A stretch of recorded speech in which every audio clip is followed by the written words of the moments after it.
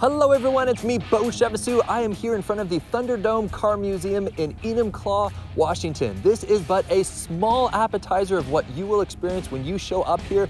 I'm just gonna go down two rows of cars, just two.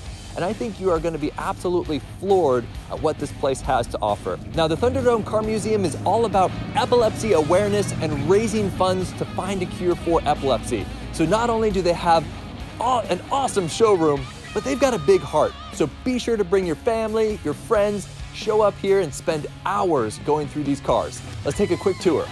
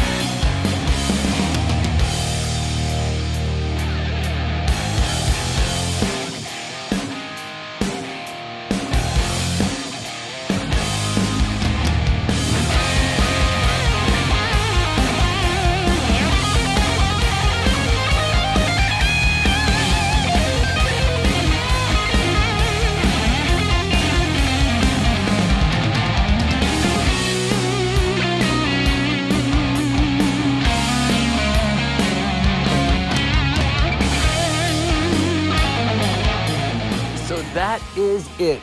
Pretty overwhelming how much history is packed into this place. I'm Beau Chevassus. I do tours all over the place, but for now, the Thunderdome Car Museum is waiting for you guys to show up here.